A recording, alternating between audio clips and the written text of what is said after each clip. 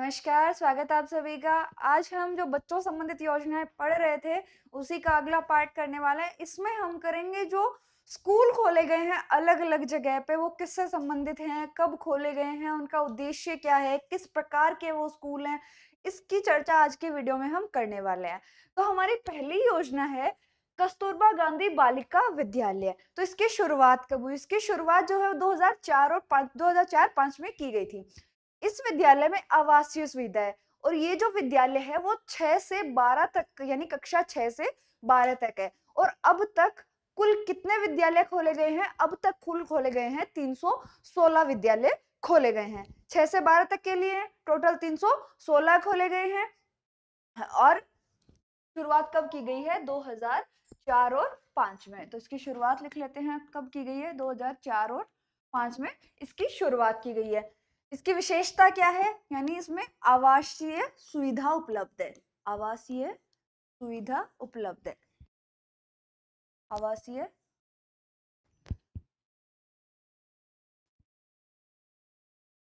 आवासीय सुविधा उपलब्ध है। आवासीय सुविधा है इसके अंदर। इसके अलावा अगर हम इसकी बात करें तो एक कहाँ से कहाँ तक है? कक्षा छ से बारह तक। कक्षा छ से बारह तक। क्या क्या और अभी तक कुल हैं कितने? ये टोटल हैं तीन सौ इकसठ। ठीक है, इसके अलावा अगर हम इसके बारे में बात करें तो जो शारदा बालिका छात्रावास योजना जो चल रही थी, कौन सी योजना?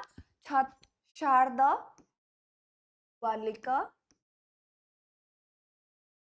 बालिका छात्रावास योजना। छात्रावास योजना। उसका विलय इसमें किया गया था। का विलय इसमें किया गया है। ठीक है, ये आप साइड में याद रखेंगे। योजना क्या है? कस्तूरबा गांधी छात्रा विद्या, छात्रा विद्यालय यानी बालिका विद्यालय। तो इसके अंदर 2004 और 5 में शुरू की गई है, तीन सौ इकसठ खोले गए हैं और इसमें आवासीय सुविधा है और जो शारदा बालिका छात्रावास है, छात्रावास जो योजना थी उसको इसमें विलय कर दिया गया था। पहली हमारी योजना ये है। और शुरू कब की गई? 2004-5 में। अगली हमारी है मेवात बालिका आवासीय विद्यालय। एक चीज़ तो इससे पहले ही क्लियर हो रही है, इसके नाम में ये भी एक आवासीय विद्यालय है। तो नेक्स्ट देख लेते हैं कि इसकी शुरुआत कब की गई। इसकी शुरुआत की गई है 2015 में। ठीक है? ये कहाँ खोले गए हैं? ये खोले गए हैं अलवर में। कहा खोले गए हैं? अलवर में।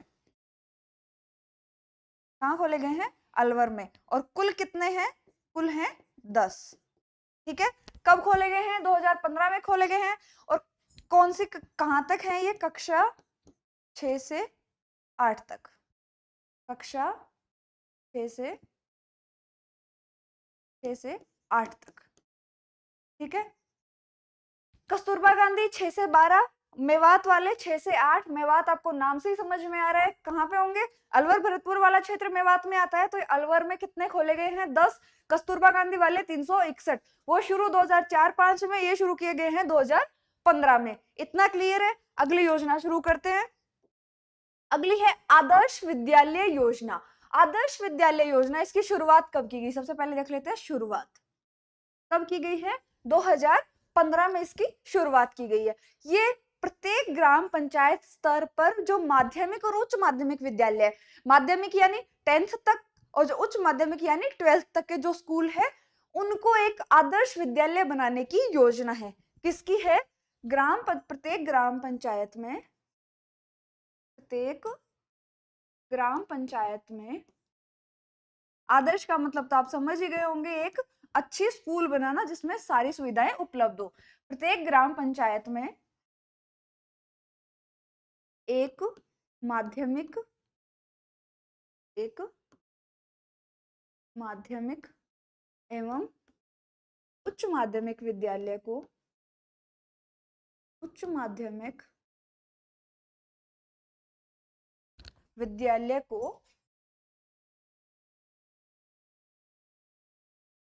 विद्यालय को आदर्श विद्यालय बनाना। ठीक है? क्या बनाना? आदर्श विद्यालय बनाना। इसका उद्देश्य समझ में आ गया? आदर्श विद्यालय प्रत्येक ग्राम पंचायत स्तर पर एक माध्यमिक और एक उच्च माध्यमिक विद्यालय को एक आदर्श विद्यालय बनाना। तो अब बात हो गई उच्च माध्यमिक और माध्यमिक वालों की तो अब बचते कौन से हैं? प्राथमिक और उच्च प्राथमिक। तो उनके लिए एक योजना लाएगी उत्कृष्ट विद्यालय। उत्कृष्ट विद्यालय कब लाएगी? 2016-17 में। कब लाएगी? 2016-17 में। ये कब लाई गई 2015 में आदर्श वाली। और उत्कृष्ट वाली कब लाई गई 2016 और 17 में। इसके अंतर्गत क्या होगा, जो प्राथमिक और उच्च प्राथमिक विद्यालय, यानी फिफ्थ तक के स्कूल और एट्थ तक के स्कूल उनको एक उत्कृष्ट विद्यालय बनाना इस योजना का उद्देश्य है। तो शुरुआत हो गई दो हज़ार सोलह सत्रह में। इसका उद्देश्य क्या है? प्राथमिक एवं उच्च प्राथमिक विद्यालयों को उच्च उच्च प्राथमिक विद्यालयों को विद्यालयों को उत्कृष्ट विद्यालय बनाना। उत्कृष्ट उसमें उत्कृष्ट करना है, जो आदर्श है उसमें आदर्श करना है।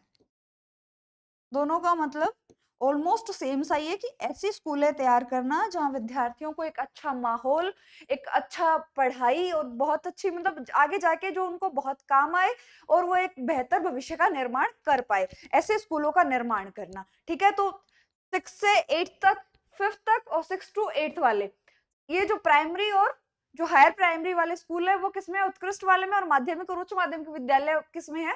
आदर्श विद्यालय में। आदर्श वाली 2015 में हो रही है 16 17 के अंदर, ठीक है? अगली योजना हमारी कौन सी है? स्वामी विवेकानंद सरकारी स्कूल। स्वामी विवेकानंद सरकारी स्कूल जो है, वो वसुंधरा के समय यानी 2016 में शुरू किए गए थे। उस वक्त सिक्स टू ट्वेल्थ के लिए शुरू किए गए थे और सीबीएसई पैटर्न पर यानी एक इंग्लिश मीडियम स्कूल खोले गए थे। इंग्लिश मीडियम स्कूल 2016 में सीबीएसई पैटर्न पर, ठीक है? लिख लेते हैं इसके बारे में, शुरुआत कब हुई? 2016 में। कक्षा 6 से 12 के लिए। कक्षा 6 से 12 के लिए। और पैटर्न कौन सा था? सीबीएसई पैटर्न पर आधारित। सीबीएसई पैटर्न पर आधारित। इसकी एक इम्पोर्टेंट बात है कि इसके अंदर 55 परसेंट जो सीटें हैं 55 परसेंट सीटें लड़कियों के लिए रिज़र्व थी। यानी 55 प्रतिशत सीटें सीट लड़कियों के लिए रिज़र्व यानी आरक्षित। लड़कियों के लिए आरक्षित।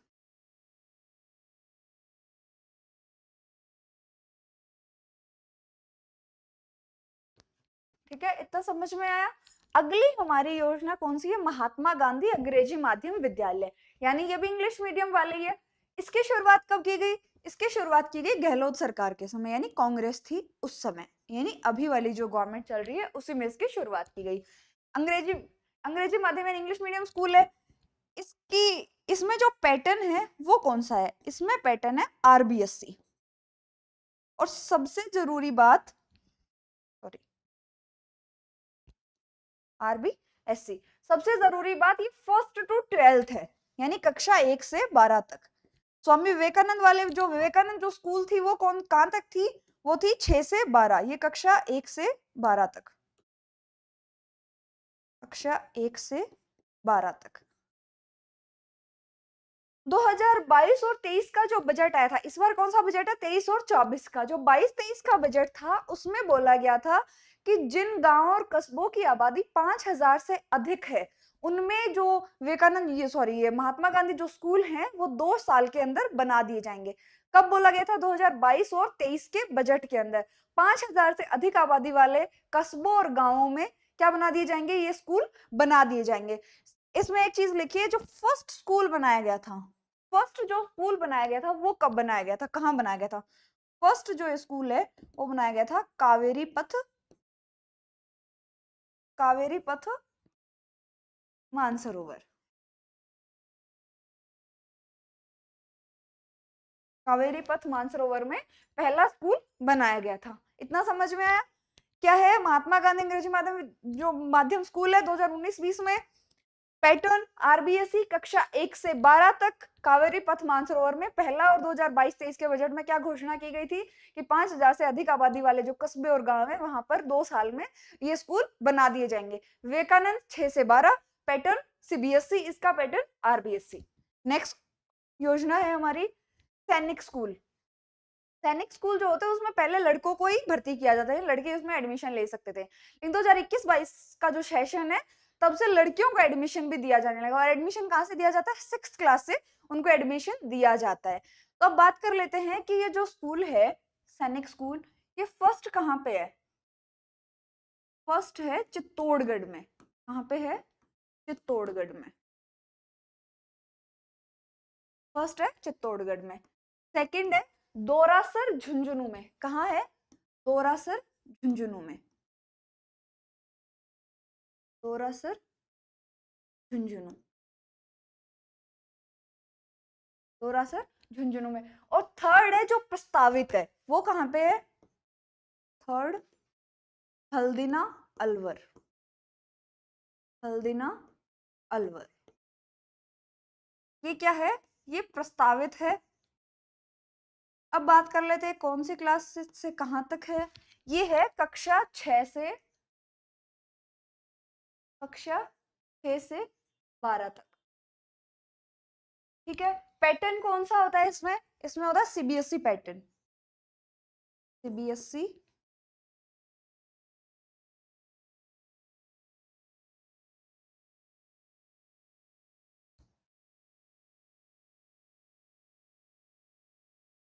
CBSE pattern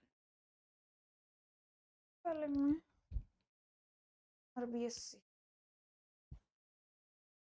सीबीएसई पैटर्न ठीक है? अब हमारा कक्षा छह से बारह तक सैनिक स्कूल यानी इसमें 21 बाईस से लड़कियों को एडमिशन दिया जाने लगा। इससे पहले सिर्फ़ बॉयज़ का इसमें एडमिशन होता था। और एडमिशन कब से दे रहे हैं? सिक्स क्लास से दे रहे हैं। ऐसा नहीं कि डायरेक्ट एट्थ में दे दिया नाइन्थ में दे दिया, फिर ट्वेल्थ में दे दिया। इस तरीके से एडमिशन इसमें नहीं होते। सिक्स क्लासेस में एडमिशन हो रहे हैं। फ़र्स्ट चित्तौड़गढ़, दूसरा दौरा सर जो झुंझुनू है थर्ड हल्दीना अलवर में प्रस्तावित है। अगला है हमारे पास पैटर्न कौन सा है? सीबीएसई है। इंदिरा प्रियदर्शिनी योजना। इंदिरा प्रियदर्शनी योजना नाम से समझ में आ रहा है? लड़कियों के लिए है। शुरुआत कब की गई? 2019 और 20 में की गई। कब की गई? 2019 और 20 में की गई। किस किस के लिए है ये? S C S T OBC EW S और दिव्यांग और अल्पसंख्यक। बच कौन सा गया? और बीपीएल्स बच कौन सा गया? सिर्फ़ जनरल के। किस किस के लिए है ये? S C S T OBC MBC EWS अल्पसंख्यक और दिव्यांग। दिव्यांग और बीपीएल ठीक है? लागू किस किस के लिए? अब इसमें होता क्या? इसमें जैसे एट्थ में कोई टॉप करता है टेंथ में टॉप करेगी लड़की और ट्वेल्थ में टॉप करती है। तो जब कोई भी लड़की एट्थ में टॉप करेगी, इन श्रेणी वाली लड़की एट्थ में टॉप करती है तो उसको दिए जाएँगे चालीस हज़ार रुपए। ट्वेल्थ में टॉप करती है तो उसको दिए सॉरी एट्थ में टॉप करती है चालीस हज़ार रुपए टेंथ में टॉप करती है तो उसको दिए जाएँगे पचहत्तर हज़ार रुपए।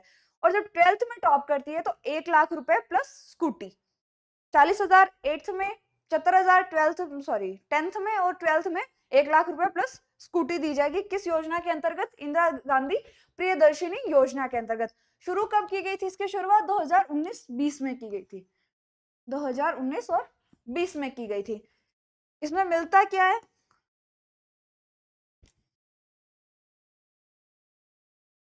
टॉपर कौन सी कौन सी क्लास की?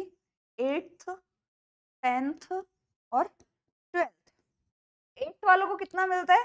चालीस हज़ार रुपए। चालीस हज़ार रुपए। टेंथ वालों को कितना मिलता है? पचहत्तर हज़ार रुपए। और ट्वेल्थ वालों को कितना मिलता है? एक लाख रुपए प्लस स्कूटी। एक लाख रुपए प्लस स्कूटी। समझ में आया? और ये मिलते कब है? ये मिलते हैं 19 नवंबर को। 19 नवंबर को क्यों मिलते हैं? क्योंकि इंदिरा गांधी जी की जयंती होती है। कब मिलते हैं? 19 नवंबर को दिए जाते हैं। 19 नवंबर को नवंबर को वितरित किए जाते हैं। वितरित किए जाते हैं। क्यों किए जाते हैं, समझ में आ गया? नाम से समझ में आ रहा है, इंदिरा गांधी प्रियदर्शनी योजना 2019-20 में शुरू की गई। किस किस को मिलते हैं? S C, S T OBC MBC EW S, अल्पसंख्यक दिव्यांग बीपीएल इन सबको मिलते हैं। सिर्फ़ जनरल वाले बचते हैं। जिला टॉपर एट्थ में जैसे टॉपर है, जिला टॉपर लिख देते हैं अपने यहाँ पे। जिला टॉपर एट्थ में चालीस हज़ार रुपए, टेंथ में पचहत्तर हज़ार रुपए और ट्वेल्थ में जब टॉप करती है तो एक लाख रुपए प्लस स्कूटी 19 नवंबर को वितरित किए जाते हैं क्योंकि 19 नवंबर को इंदिरा गांधी जी की जयंती आती है। अब बात करते हैं अपने 19 नवंबर 2020 को मैंने आपको एक योजना करवाई हुई है। उस योजना के बारे में आपको मुझे कमेंट करके बताना है। पिछले वीडियो ताकि आप पता चल पाए कि आपने पिछले वीडियो देखा है या नहीं देखा है। 19 नवंबर 2020 कौन सी है? मातृत्व पोषण योजना। उसके बारे में आप जितना मैंने लिखवाया है आपको, वो आप कमेंट में बताएँगे। ठीक है? अगला शुरू करते हैं। गार्गी पुरस्कार योजना, इससे तो लगभग लगभग आप सभी परिचित होंगे। ये वसंत पंचमी के दिन ये पुरस्कार दिया जाता है और टेंथ और ट्वेल्थ में जिनके पिछहत्तर प्रतिशत आते हैं, उनको पाँच हज़ार रुपए की राशि सरकार द्वारा दी जाती है प्रोत्साहन राशि के रूप में। इसमें क्या है? ये वसंत पंचमी पर दिए जाते हैं। वसंत पंचमी पर दिए जाते हैं। राशि कितनी दी जाती है? पाँच हज़ार रुपए। पाँच हज़ार रुपए। शर्त क्या है? शर्त क्या है इसकी? दसवीं व बारहवीं में पिछहत्तर प्रतिशत। दसवीं व बारहवीं में में पिछहत्तर प्रतिशत अंक। प्रतिशत अंक प्राप्त करने पर। अंक प्राप्त करने पर। ठीक है? आज के लिए हमारा वीडियो हम यही समाप्त करते हैं। कल इसको कंटिन्यू करेंगे और योजनाओं के साथ। Thank you